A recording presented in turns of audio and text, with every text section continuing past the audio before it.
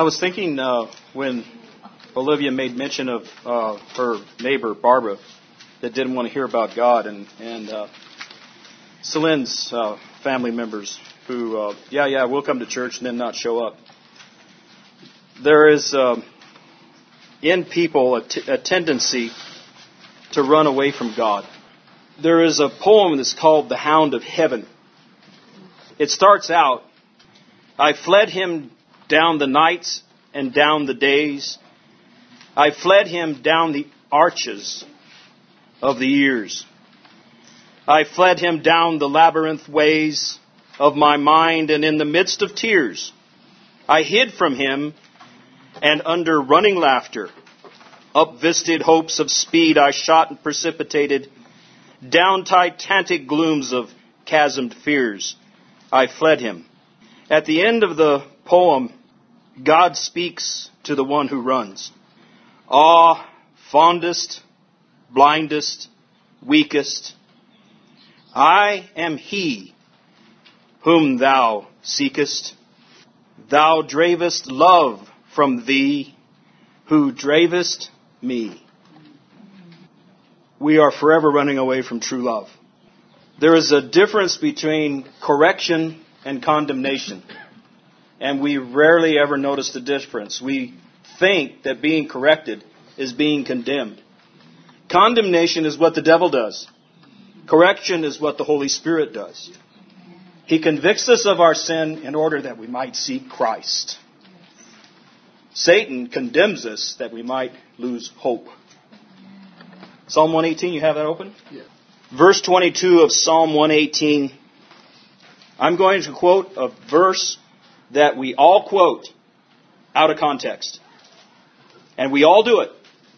But I want you to catch the meaning of this verse today. Verse 22. The stone which the builders rejected has become the chief cornerstone. This is the Lord's doing.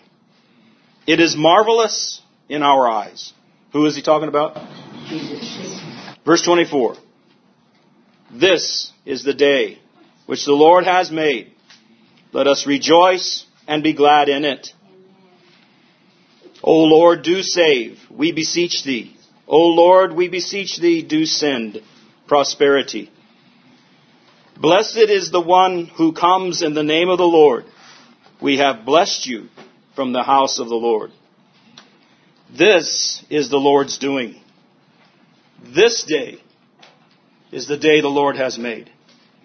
It refers to the fulfillment of that scripture, Palm Sunday. God had established Palm Sunday for a reason. And today I'm going to tell you the reason. Thank you, sir. John, what chapter and verse? Chapter 18, starting with verse 22. 118. 118. 118. Yep. 2 Timothy chapter 2, verse 15. To complete out our lesson we didn't finish last week. You can't draw water out of a dry well. There are far too many preachers who get up behind the pulpit and expect God to fill their mouth when they haven't prepared. God can't dig out of you what you haven't put in. You got to learn. You got to study.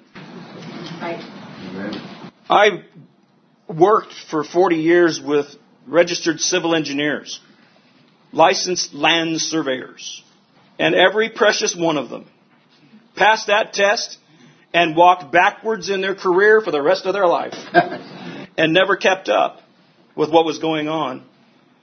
I worked, there was one guy out of Upland that had been in a, a surveyor for 25 years and he would remind you of it and just, you know, keep adding the days of how many years he'd been a surveyor, drawing maps and going out and stuff.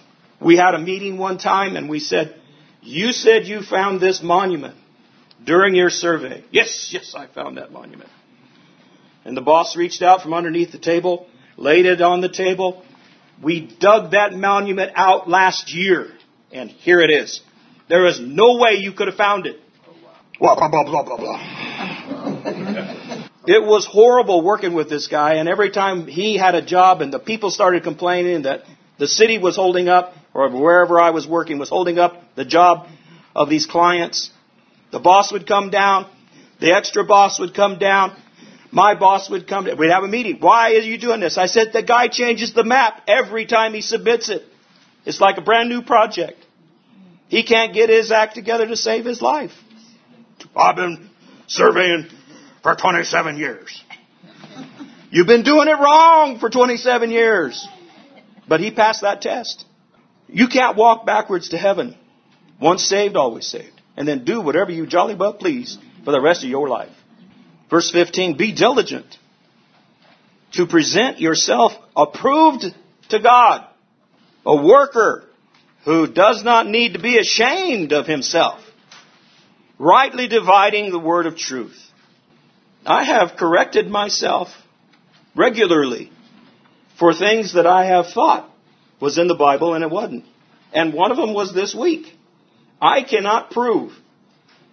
With all of the study, I got really sidetracked on this and was looking for it. I had always believed that Jesus one time and only once went through the Golden Gate. The Gate Beautiful. On Palm Sunday. It Was the only time he went through it. I believed that for years. This week I looked up the scripture to find out I was telling the truth. I can't find it. I don't know where I got the idea. But I've been saying it for years. I've given up saying it. I don't say it anymore. I'm not going to say it anymore as of this Sunday for the first time. but I guarantee you it's the first time Jesus allowed the people to refer to him as a king. That I know is true. Study so you don't embarrass yourself. in front of friends and neighbors, and especially if you are recalled on to stand up in front of a bunch of people and talk. I mean, was our, uh, we were going to church when we first got married, and, uh, Della's sister is uh, she needs to really come out of her shell. You know, she just went. Woo-hoo. she hears something, she'll let you know. we. My daughter talks about having. we went to we we went to dinner at Chili's, and the gal brought us our drinks and forgot to give us straws. She was behind us helping another table, and said, she forgot to give us straws. I turned around, looked at her, and I scooted my chair over. I reached into her apron, grabbed a handful of straws, came right back over. My daughter wanted to crawl under the table. Hey, you know.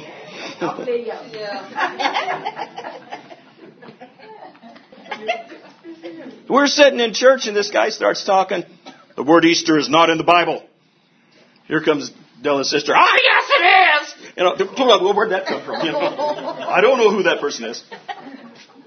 Acts chapter 12, verse 4 in the King James Bible says Easter. That guy wouldn't accept it. Oh, it's not there. And I'm sure to this day he refuses to accept that it's there.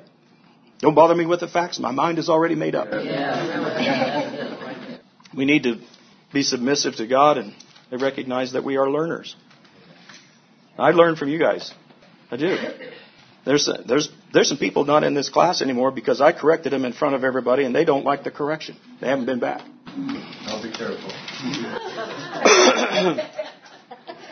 one guy, uh, some of you will know who I'm talking about. One guy referred to his problem as an addiction. I have an addiction. I said, no, you don't. You got to sin. It's an addiction. I says, I don't care what the American psychologists tell you. It is sin, Bubba. In this class, it's sin. Because let me tell you something. Jesus did not die for addictions.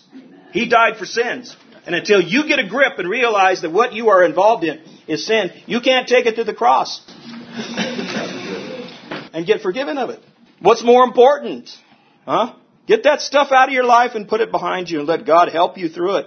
And until we recognize that it is sin against God and man, we can't get out of our mess. That's it. That's in scripture. You know, I have sinned before you. This is what the little, the little boy said when he came home to daddy, the prodigal son. I have sinned before you and God. You can't draw water out of a dry well. Pastors are poor representatives of the Lord and do a disservice to the congregation when they get behind the pulpit and wing it. I remember our dear beloved uh, Jim Swanson who said that one Sunday morning as he apologized to the entire congregation. I winged it last week and I want to stand up here and tell you I am sorry I did it. and for all the times that I have stood in front of you behind this desk and winged it. That I'll never forget that day. I've just absolutely put him on the highest pinnacle of pastors I have ever met because of his willingness to stand up and say that. It takes study to know what the Bible truly says. It takes a lot of devotions and meditating to present God's Word so that the people can understand it and use it in their daily lives. It isn't easy, but God will help. The word Paul uses, rightly dividing in Greek, means to cut it straight. It's a farmer's term when plowing a straight furrow. You get the Word of God straight. And don't just teach tradition. Well, you know, well, uh, never mind, I'm not going to go there. The pastor is a workman in God's Word. The Word is a treasure and must be guarded. It's the soldier's sword and the farmer's seed, but it is also the workman's tool for building, for measuring, for repairing God's people. The preacher and the teacher who use the Word correctly will build their church the way God wants it to be built. But a sloppy worker will handle God's Word deceitfully in order to make it say what He wants it to say. When God tests our ministries, some of it, sad to say, will become nothing but ashes, wood, hay, and stubble. Because we didn't put our best into it, why should God give us a reward for sloppy effort?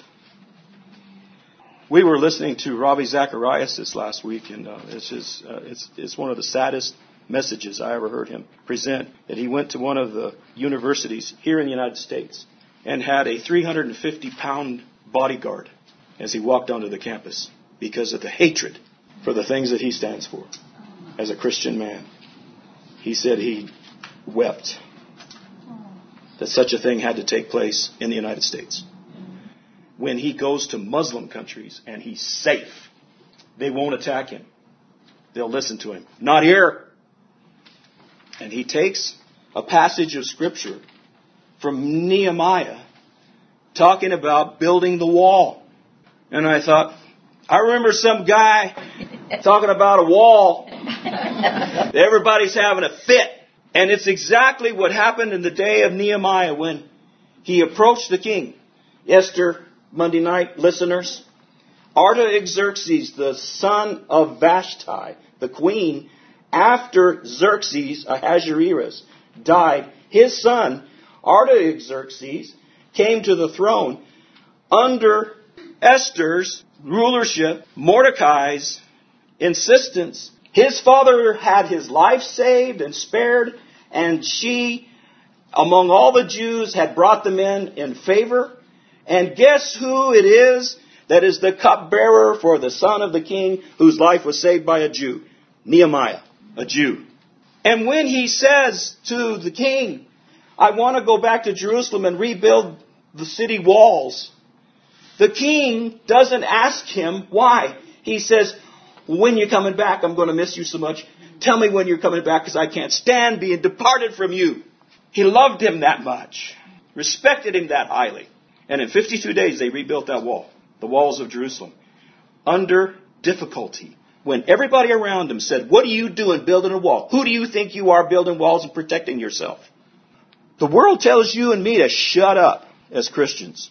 Well, excuse me, I got real excited about it a week or two ago. There's a wall of separation between the church and the state, and that goes both ways. Neener, neener, neener. you can't tell me to shut up. You won't let me tell you how to run the government?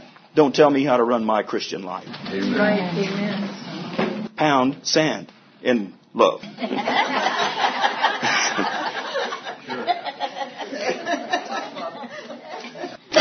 We'll get more of this on Monday night, so everybody come. Y'all come now, you hear? Moses' uh, uh, vessel is verses 20 and 21. These are the seven things that Paul talks about that we should be as pastors, teachers, and Christians. Teacher, somebody that studies, vessel. Verse 20, but in a great house there are not only vessels of gold and silver, but also of wood and clay, some for, for honor and some for dishonor. You understand? He's talking about a poop bucket. That's what he's talking about. Buckets of dishonor. Therefore, if anyone cleanses himself from the latter, he will be a vessel for honor, sanctified and useful for the master, prepared for every good work. Flee also youthful lusts, but pursue righteousness, faith, love, peace. Those who call on the Lord out of a pure heart. Moses said in number 16:5, "The Lord will show who are his." Departing from iniquity, we are admonished to live godly lives because we are what Peter said, we're a royal priesthood, priesthood, a holy nation. We are his own special people. It says peculiar in the King James and it mean it's a picture word that means standing in the middle of a circle. The word peculiar in Greek means you are in the middle of a circle, and the circle is our living God who is surrounding us at all times. You are a special people to Him. We are a great house, is the one that God is building. We are living stones, Peter said in chapter 2, assembled together to offer up spiritual sacrifices that are acceptable to God by Jesus Christ. Our lives become trophies in heaven of His great mercy, His great grace, and His power to save the worst of sinners. And we will stand in heaven's court, and God said, Look what I can do with this that everybody has rejected. You literally, Cheryl, this is interesting. They're funny stories. She's gone to work, and the head of the department is a got a doctorate degree, and the two of them look like the you know mirror face to face, and everybody kept calling her doctor something. when she was walking around, only been there three days. and then they met each other in the elevator. you look alike. It's too funny. We will look like Jesus. We will look like Him.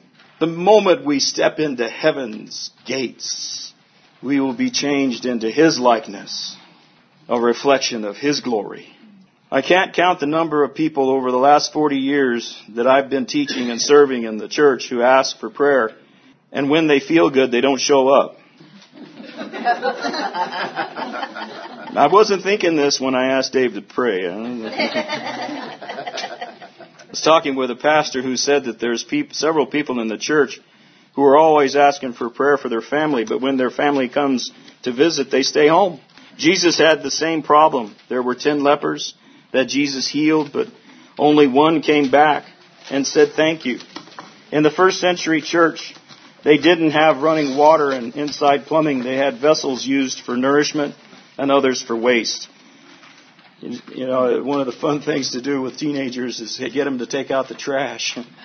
oh my gosh, you'd think it was the end of the world. ah, and they drag, you know. Tell them you're going to go to a movie and they'll beat you to the car. Paul reminds Timothy that in church there are vessels of praise and vessels of shame. Some vessels, church members, bring honor and glory to things of God, but there are also those who have mingled their lifestyle with that that is corrupt and the baser things of the world. They bring dishonor to the assembly. They are fit for nothing but to be discarded, lest, if they remain, they spoil and pollute the vessels of honor. I have to watch myself that I don't get like that. You get, get tainted by the world and, and have the world affect the way I teach. How many of you know it already has?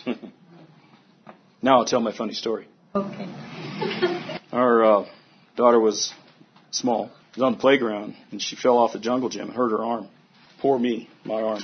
So Della went to the school, picked her up, and they went to the hospital.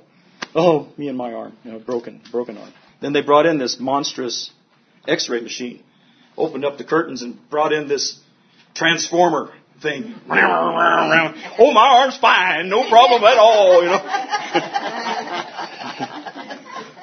as soon as she saw that machine, you know, it was hilarious. We still laugh about it, you know. It's just being a kid. Um, sometimes uh, during being investigated by the Holy Spirit, I like to say, I'm okay and we're not. we need to be investigated and looked at and x-rayed. Verse 24, and a servant of the Lord must not quarrel, but be uh, gentle to all, able to teach and patient, in humility, correcting those who are in opposition. It's, a, it's servant work. If God perhaps will grant them uh, repentance, so that they may know the truth, and they uh, and that they may come to their senses and escape the snare of the devil, having been taken captive by him to do his will. Uh, there's no such thing as freedom in a vacuum. We'll end up serving Satan or we'll end up serving God. And when we serve ourselves, we're serving the devil. You, I, I can't tell you the number of times I've dealt with people. You do exactly what they want and they're still not happy. Because they don't know what happiness is by definition. We were talking about somewhat, me and my son, Ken, and I said, you know, dealing with that person, it's their way or the highway. And he says, not with that person, there's no highway. They'll chase you down and make sure you do it their way. There is only their way. Jesus told his disciples that a servant is one of our name tags. That is literally the most important name tag we can have. Servant. David said of himself, I would rather be a doorkeeper in the house of God than, in essence, be king. Serve the people. I remember one time working with a gal and she said she'd love to go to the airport and drink coffee. This was back in the day when you could go watch people get on planes and greet their loved ones and say goodbye to loved ones as they were boarding planes. And I said, why do you do that? She says, I just love watching people go have fun. They're going someplace. They're enjoying life. And I think that's what Paul was talking about. Folks going to church, they love God. And this is the time when you just take the whole world off your shoulders, leave it at the door, and go in and worship your Savior. Paul calls himself a slave of Christ in Romans 1 and Philippians 1. He says, once we were slaves to sin, but now we have true freedom as slaves to Jesus Christ. God's slave does not have an easy time teaching the word. Satan opposed him and tried to trap him. Some people are just naturally difficult to teach. They enjoy foolish arguments, he said. There's no desire to feed on the nourishing Word of God and, until you have experienced it. You have no idea how difficult it is to impart spiritual truth to some people who are more interested in having fun. they come to church to have fun. And it is, it is said that in the last days people will heap to themselves teachers having itching ears. The small church pastor that is preaching God's word faithfully, studying his head off every week, and watches his congregation dwindle because a big church has got fun and the people leave. The word recover in verse 26, it describes a man coming out of a drunken stupor. Satan makes people drunk with his lies, and the servant's task is to sober them up and rescue them. The last phrase in verse 2 or chapter 2 verse 26. They are delivered out of the snare of the devil who took them captive so that they might do God's will. As you review these seven aspects of working ministry, you'll see how important and how demanding the work of the ministry is. It's no place for loafers. It demands discipline and effort. Church members need to pray for their pastors and encourage them in their work. Church officers should faithfully do the work that the pastors can devote themselves to study. Churches should provide enough financial support for the ministry so that they can fully devote themselves to the work of the ministry. Galatians 6, those who are taught the word of God should provide for their teachers, sharing all good things with them. 2 Corinthians 9, now he that ministereth seed to the sower, both ministers bread for the food and multiply your own, your seed sown, increases the fruits of your righteousness. Acts 20, remember the words of the Lord. It is more blessed to give than receive. In Matthew 10:41, if you receive a prophet as one who speaks for God, you will be given the same reward as the prophet. And if you receive righteous people because of their righteousness, you will be given a reward like theirs. And if you give even a cup of cold water and one of the least of my followers, you will surely be rewarded. Amen. Amen. Next week, next week the cross. Week after, chapter three, Second Timothy. Top of your other notes. Christ in the triumphal entry. I've got 12 minutes. I'm going to skip the full reading of this. Just look at the one verse. Remember what we read. This is the day the Lord has made. Uh, jumping down to verse 37. When they reached the place where the roads started down the Mount of Olives, all of his followers began to shout and sing as they walked along, praising God for all the wonderful miracles they had seen. Blessings on the King who comes in the name of the Lord, they said. Peace in heaven, glory in the highest heaven. But uh, some of the Pharisees among the crowd said, Teacher, rebuke your followers from saying things like that. He said, If they keep quiet, the stones along the road would burst into cheers. Verse 41. Now, what, what I read up to then was a New Living Translation. This is the New King James Version, starting with verse 41. As he drew near, he saw the city and began to weep, or he wept over it, saying, If you had known, even you, especially in this your day, the things that make for your peace, but now they are hidden from your eyes, for the days will come upon you when your enemies will build an embankment around you and surround you and close you in on every side. You know that's what happened when the Romans conquered Jerusalem in 70 AD. Verse 44, and level you and your children within you to the ground, and they will not leave in you one stone upon another. Finally, he says, because you did not know the time of your visitation. If you will remember when Jesus was born, King Herod sent the uh, scholars back to the Bible to find out uh, when, what was the story about where Jesus would be born. They came back and said, well, he's going to be born in Bethlehem about this time. That's what they had presumed. And here's these kings now coming to worship him because the king has been born. And when they uh, didn't come back to Herod, then Herod decided he would kill every child under two years of age and under in this village where he knew that Jesus had been born. And the angel came and told Mary and Joseph, get out of Dodge and go to Egypt. And when they were there, then he says, okay, now you can go back because the old fox is dead. This is Palm Sunday, and all across the world, ministers and teachers will be reading a passage, Zechariah chapter 9, verse 9. Rejoice, O people of Zion. Shout in triumph, O people of Jerusalem. Look, your king is coming to you. He is righteous and victorious, yet he is humble, riding on a donkey, riding on a donkey's colt. Jesus entering Jerusalem on Sunday before his crucifixion is a fulfillment of that prophecy. Christians call it Palm Sunday and rejoice that another prophecy proving that Jesus is the Messiah has been fulfilled. You'll find this event, the coming of Christ into Jerusalem, in all four Gospels is listed that I give you those passages. Jesus entered Jerusalem through the Golden Gate or the Eastern Gate on the opposite side of Mount Olives. If you stand on the top of Mount Olives to this day and look at the Eastern Gate or the Golden Gate, which is sealed up, that's not the one. The one that Jesus went through is underneath where the tombs are. It's covered in dirt. In 1983, in Biblical Archaeology Review, before they put up the fences to keep you out of that area, one of the archaeologists of, of that area had gotten his camera and was early in the morning, wanted to get a nice, pretty picture of the, the Golden Gate. And while he was standing there, he fell into a mass grave.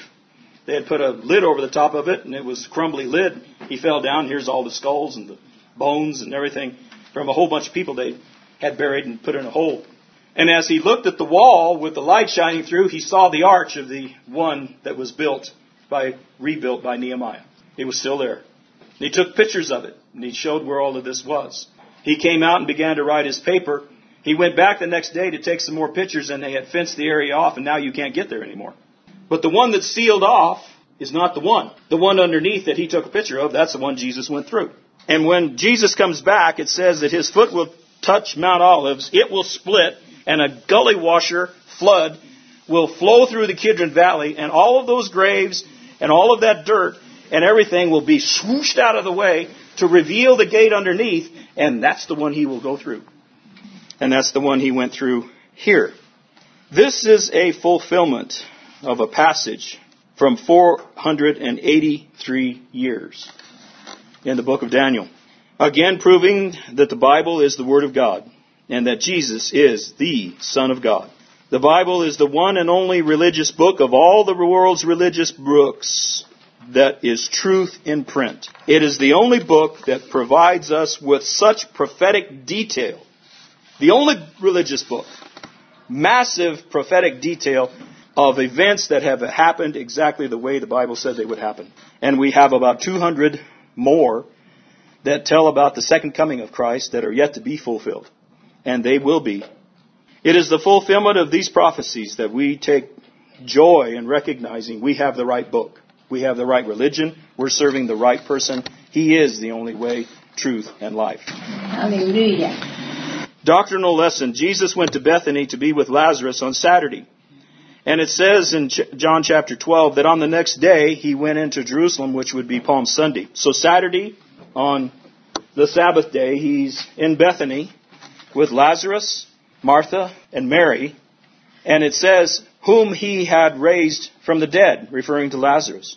Unfortunately, there are a number of folks in the Orthodox churches who refer to Saturday as Lazarus's day, Saturday of Lazarus, and believe that that's the day that Jesus raised him from the dead. And then the next day was Palm Sunday, and that is celebrated around the world by Orthodox Christians. The people gathered knew Jesus, the rumor had gotten around Jesus was in town, and he had raised Lazarus from the dead, and they if you read John, they wanted to see Lazarus. They wanted to see the guy raised from the dead. Jesus was incidental to them.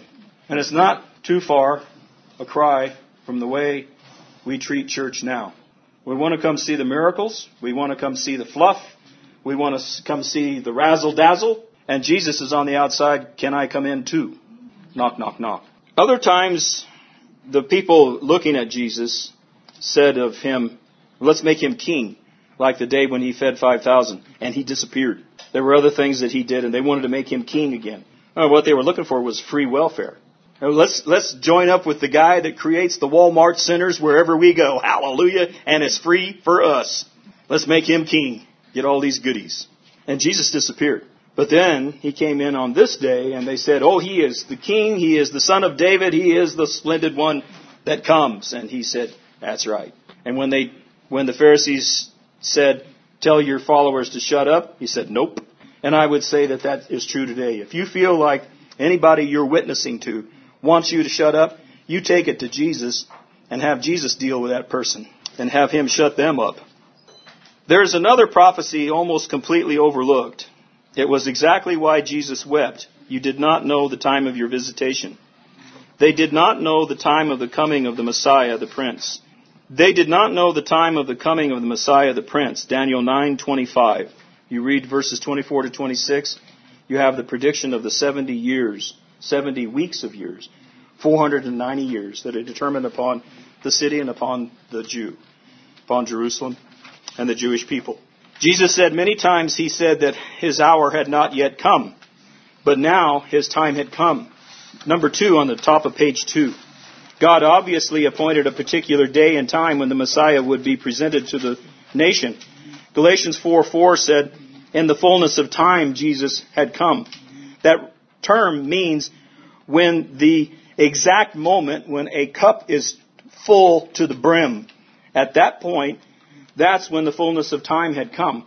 And the fullness of time for Jesus to be revealed as the King of the Jews was Palm Sunday. In Psalm 118, this is the day the Lord has made, we will rejoice and be glad in it, is referring to the triumphal entry of Jesus Christ. Number four, Luke 19, Jesus lamented, if you'd only known about this day, this thy day. Number five, Palm Sunday is the 10th of Nisan. Jesus entered Jerusalem as the Lamb of God who takes away the sin of the world. John chapter 1. This is the same day, Palm Sunday, that the high priest selects an unblemished lamb for the Passover sacrifice. Jesus is presented to the people of the same day that the priest grabs a lamb and said, This is the one who is the sacrifice for our sins for Passover. Same day Jesus walked in. This is the day the Lord has made. After 70 years of captivity in Babylon, Daniel knew from Jeremiah that the time of their deliverance had come. He was taken in his youth at 17 or 18. He's now nearly 90. Others will return, but he will not. The angel Gabriel comes to him and tells him, it's not only 70 years, my friend, it's 70 times 7. Jumping down to the 70 weeks, 490 years, which are divided into three parts. the angel continues. The first part is seven weeks, referring to the rebuilding of the city during troublesome times. From the day that the decree goes forth to the completion of the rebuilding of the city, will be 49 years. And then there will be 62 additional years, or weeks rather, times seven, with a one remaining week left over. At the end of 69, the 7 plus the 62, Messiah will be cut off, but not for himself. This is Daniel chapter 9. Sir Robert Anderson's classic work, The Coming Prince, written in 1894, gives us the picture. Gabriel says to Daniel in 9, Seven times seven, 49 years rebuilding the city. 62 times 7, 434 years later, Messiah is going to be cut off for a total of 483 years to the day. And if it isn't to the day, God's not God. And it was. The Jewish and Babylonian calendars are 360 day years. 483 years ends up being 173,880 days. After the commandment was given to rebuild the city. When was that command given? It came from the Persian king Artaxerxes to Nehemiah to restore the walls of Jerusalem. Nehemiah is careful to tell us that this commandment was given to him on Nisan, the 20th year of the king Artaxerxes' reign. It turns out to be on our calendars, if we were to use our Gregorian calendar and go back to BC, it would be March 14th, 445 BC, is the date that Nehemiah was given the command to go rebuild the walls of the city. From that day, using the Jewish calendar, 173,880 days later gives us April 6th, 32 AD, which is Palm Sunday. This is the day the Lord has made. Jesus said, if you had only known the day of your visitation. It was on Passover day at three in the afternoon when Jesus gave up the ghost. It is finished.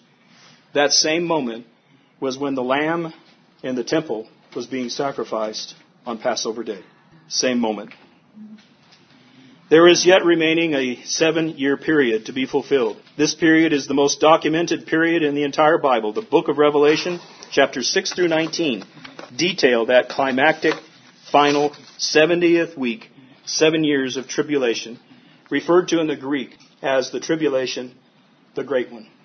God is a date setter.